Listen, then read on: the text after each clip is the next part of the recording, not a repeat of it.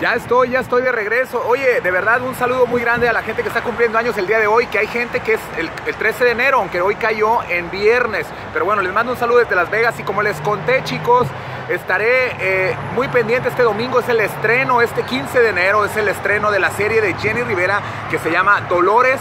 Y bueno, eh, excelentemente porque mi amiga, la, la gran actriz Luz Ramos, ella va a ser la que va a dar vida a Jenny Rivera. Y bueno, tuvo que subir de peso, es una serie, bueno, de nombre Dolores la Jenny que yo conocí, dice ahí, bueno, y bueno, Gabriel Vázquez, que es el, productor y, bueno, quien fuera manager de muchísimos años de toda la carrera de Jenny Rivera, pues están haciendo un excelente trabajo, especialmente la transformación, oye, los diferentes looks que van a manejar ahí en la serie, está padrísimo.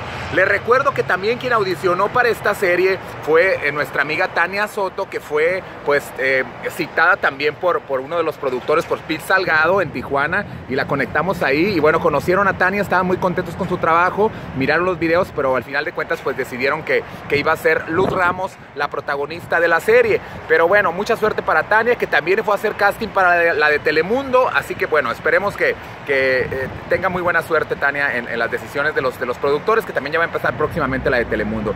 El 2 de septiembre iniciaron las grabaciones eh, de la serie de Jenny Rivera. Y bueno, quien va a eh, cantar los temas es Sheila, las, así es, la amiga de Alberto Galás, va a cantar los temas de Jenny Rivera en la serie Dolores de Univisión. Pero lo curioso que son 20 canciones que, que Sheila ya grabó, los, los temas que, bueno, recordemos que ellos no tienen los derechos de autor. Esto es lo que está pasando. Por ejemplo, en el caso de la película de Gloria Trevi, también de Gloria, eh, ahí hicieron el disco otra gente cantando los temas porque pues no podían usar las canciones de Gloria Trevi y en este caso tampoco pueden usar la voz de Jenny Rivera. Van a cantar las canciones pero no en voz de Jenny Rivera por los derechos de autor. Así que yo les recomiendo muchísimo la serie que empieza el domingo, los que tengan manera de ver Univisión, va a estar padrísima. Este, terminaron de grabarla el 20 de diciembre ya y está excelente eh, la serie de pues de Jenny Rivera. Así que estén muy al pendientes, es el domingo que inicia. Yo les mando un saludo desde Las Vegas.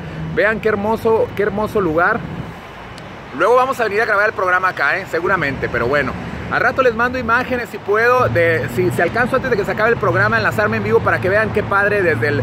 me voy a subir a, a, ese edificio, bueno, a la montaña rusa. Ok, les mando un saludo y regresamos allá al foro. Alberto Galás, hay que venir a Las Vegas.